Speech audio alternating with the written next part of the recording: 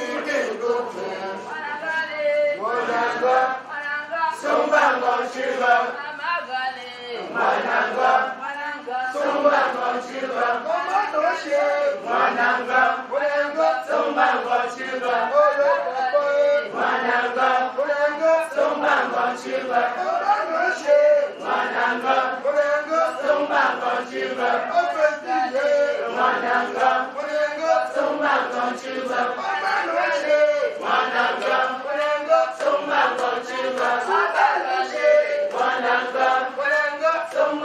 Shiva,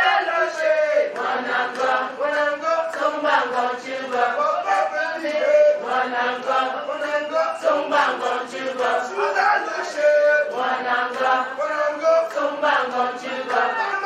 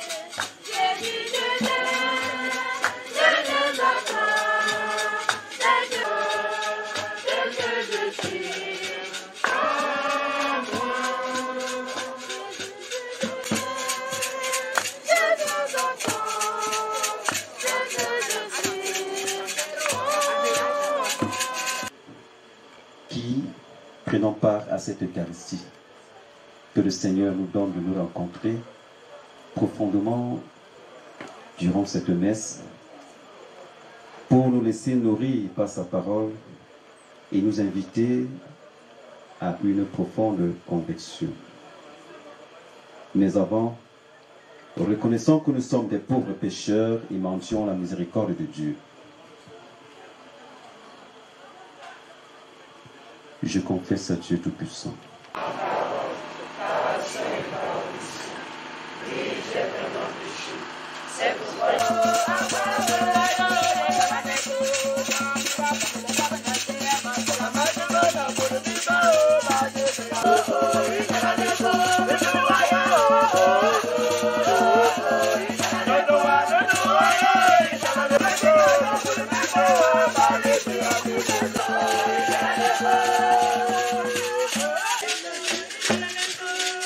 Prions le Seigneur. Seigneur, n'oublie pas ce que tu es pour les tiens. Un Père qui aime à pardonner, un ami qui ne ferme jamais son cœur. Écoute-nous quand nous t'implorons pour ta servante Anne, notre mère, que tu viens d'appeler à toi. Tant qu'elle a vécu au milieu de nous, tu as été son espérance et sa foi. Maintenant, reçois-la dans ta maison, à la place que tu as préparée. Ouvre-lui tes bras et donne-lui le bonheur que rien ne peut détruire. Par Jésus-Christ, ton Fils, notre Seigneur et notre Dieu, qui règne avec toi dans l'unité du Saint-Esprit, maintenant pour les siècles des siècles. De toute façon, que ce soit avec les arrière-pensées ou avec sincérité, le Christ est annoncé, et de cela je me réjouis. Bien plus, je me réjouirai encore, car je sais que cela tournera à mon salut grâce à votre prière et à l'assistance de l'Esprit de Jésus-Christ. C'est ce que j'attends avec impatience et c'est ce que j'espère. Je n'aurai à réjouir de rien. Au contraire, je garderai toute mon assurance, maintenant comme toujours. Soit que je vive, soit que je meure, le Christ sera glorifié dans mon corps. En effet, pour moi, vivre c'est le Christ et mourir est avantage. Mais si, en vivant en ce monde, j'arrive à faire un travail utile, je ne sais plus comment choisir. Je me sens pris entre les deux. Je désire partir pour être avec le Christ, car c'est bien préférable. Mais, à cause de vous, demeurer en ce monde est encore plus nécessaire. De cela, je suis convaincu. Je sais donc que je resterai et que je continuerai à être avec vous tous pour votre progrès et votre joie dans la foi. Ainsi, à travers ce qui m'arrive, vous aurez d'autant plus de fierté dans le Christ Jésus du fait de mon retour parmi vous.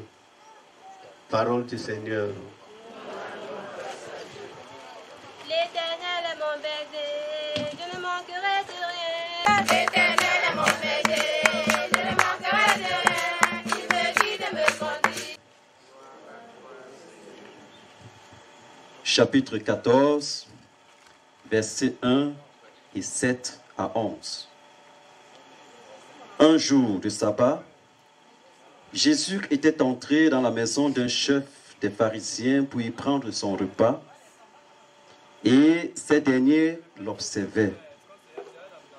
Jésus dit une parabole aux invités lorsqu'il remarqua comment ils choisissaient les premières places, et il leur dit, quand quelqu'un t'invite à des noces, ne va pas t'installer à la première place, de peur qu'il ait invité un autre plus considéré que toi. Alors, celui qui vous a invité, toi et lui, viendra te dire, serre de lui ta place. Et à ce moment-là, tu iras plein de honte prendre la dernière place. Au contraire, quand tu es invité, va te mettre à la dernière place. Alors, quand viendra celui qui t'a invité, il te dira, mon ami, avance plus haut. Et ce sera pour toi un honneur aux yeux de tous ceux qui seront à la table avec toi. En effet, quiconque se lève sera abaissé, qui s'abaisse sera élevé. Alléluia, Amen, Alléluia, Amen. Alléluia, Amen, Alléluia. Bien-aimés dans le Seigneur, bonjour.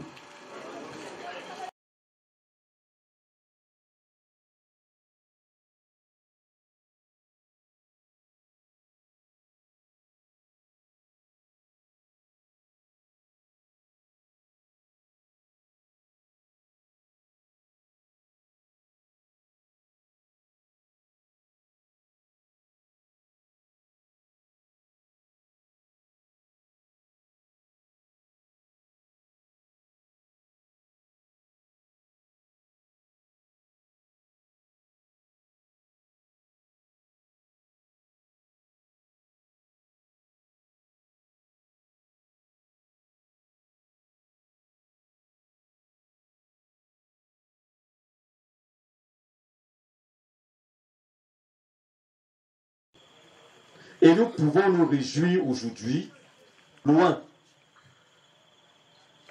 gravant ces obstacles, pour se retrouver, voir d'abord cela dans ce sens.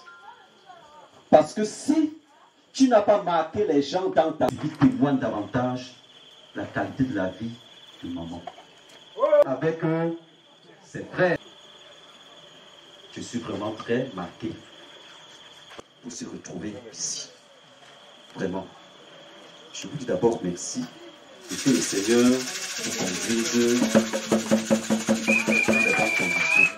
Nous donne non seulement aujourd'hui de nous retrouver, nous donne de prier pour le repos de son âme, puisque de profiter de son occasion pour davantage écouter la parole de Dieu. Laquelle parole? De profiter pour nous laisser toucher par cette parole. Dans la première lecture, l'apôtre Saint Paul se réjouit. Il se réjouit parce que il est fier de la mission qu'il a accomplie. Il est fier parce que il a pu inscrire le Christ d'abord en lui et il a inscrit le Christ il sent déjà son heure arriver.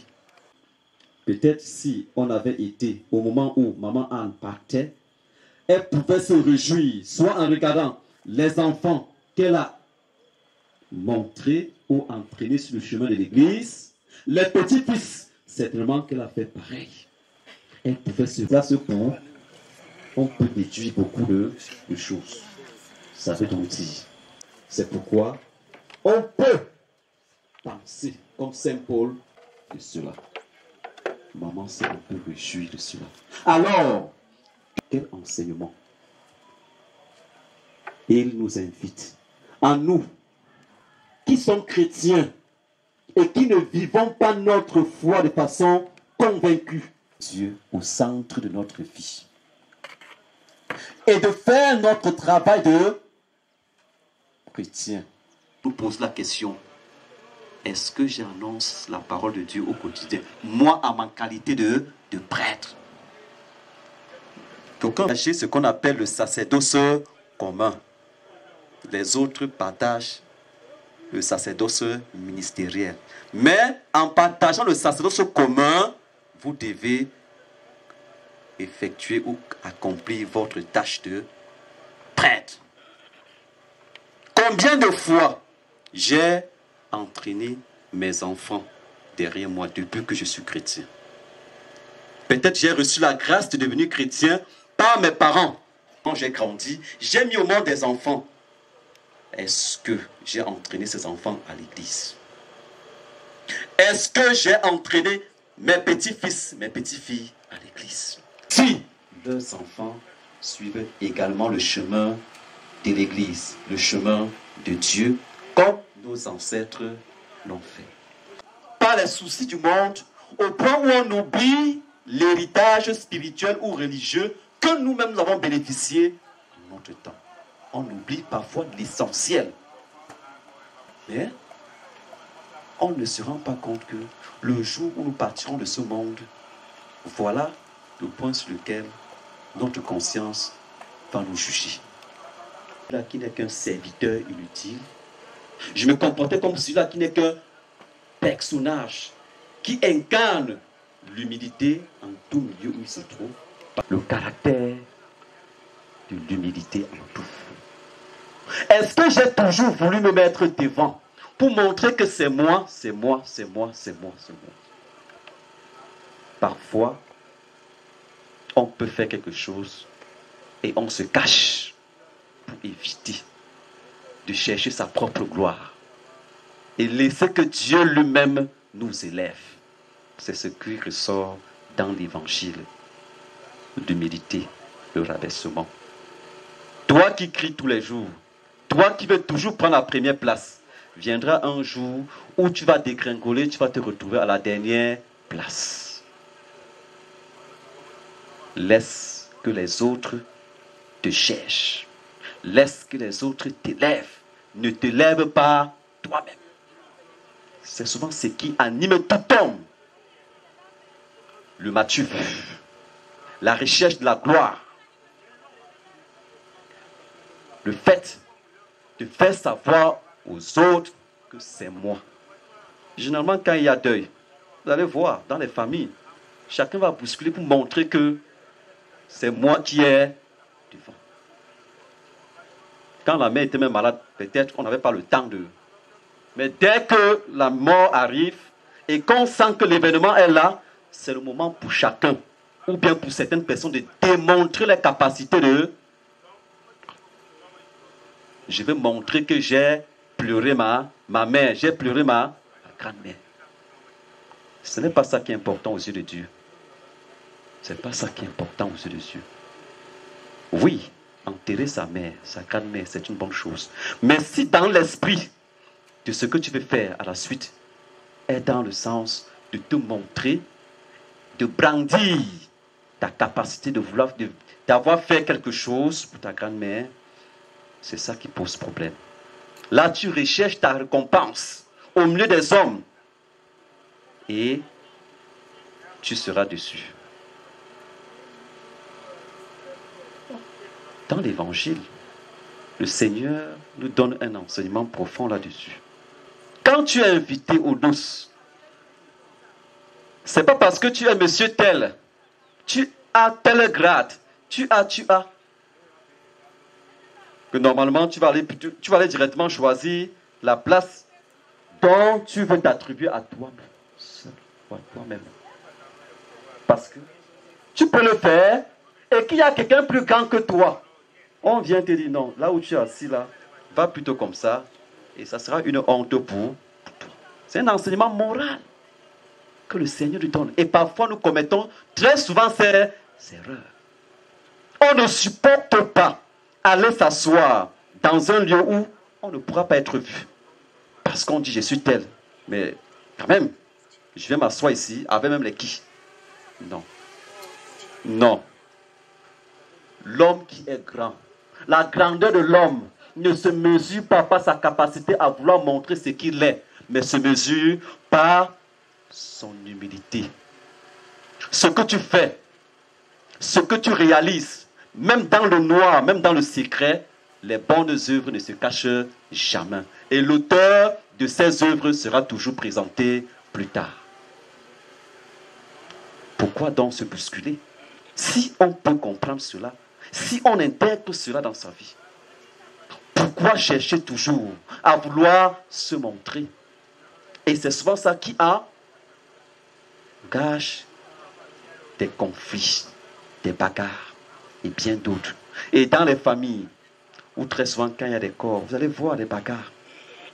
C'est tel enfant qui va dire, mettez la date du deuil là tel jour. L'autre va se mettre de son côté, imposer. Et quand on voit très bien, ce sont des personnes qui ont des moyens. Parce qu'on veut faire une démonstration de puissance. Tu as les moyens. C'est vrai. Mais, est-ce que ces moyens-là, tu pourras partir de ce monde avec? Pose-toi la question et de façon régulière. Avec quoi je partirai de ce monde? Est-ce avec les biens matériels, l'honneur, la gloire de ce monde? Non. Je partirai de ce monde ayant marqué le cœur des hommes. Si j'ai marqué le cœur des hommes, voilà l'essentiel. On parlera de moi à jamais. Parlera de moi à jamais. Bien-aimé dans le Seigneur, l'évangile de ce jour nous donne de cultiver en nous l'humilité. Cultiver l'humilité. Mettons les esprits de grandeur de côté, rabaissons-nous, faisons comme des serviteurs inutiles qui ne jouent qu'un rôle et qu'après cela, le rôle sera terminé. C'est cela, bien-aimé dans le Seigneur.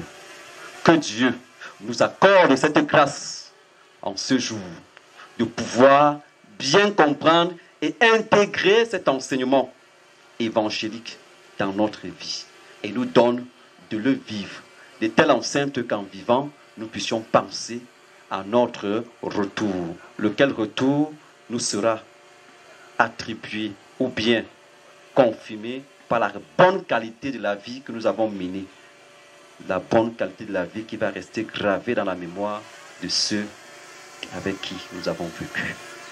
Loué soit Jésus-Christ.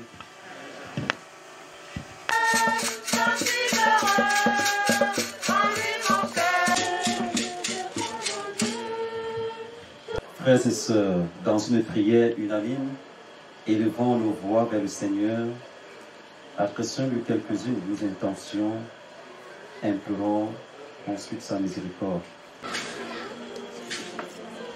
dit Mami A. Messe de vendredi 28 octobre 2022.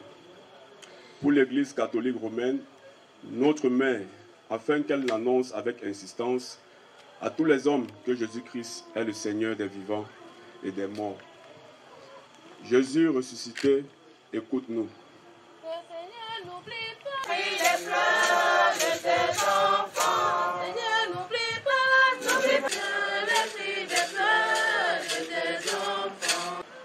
Pour, pour les pasteurs que tu as établis pour conduire ton peuple, afin que, guidés par ton esprit, ils rappellent aux hommes de leur génération la brièveté de la vie et la nécessité d'une vie heureuse en, Dieu seul. Prions le Seigneur. Seigneur, de tes enfants. rappeler à toi. Pardonne-lui tous ses manquements. Montre-lui toute l'entendue de ta miséricorde. Sois pour elle le juge dont elle n'a rien à craindre et accorde-lui de contempler ta lumière sans déclin. Dieu qui est amour, nous te supplions. Senhor.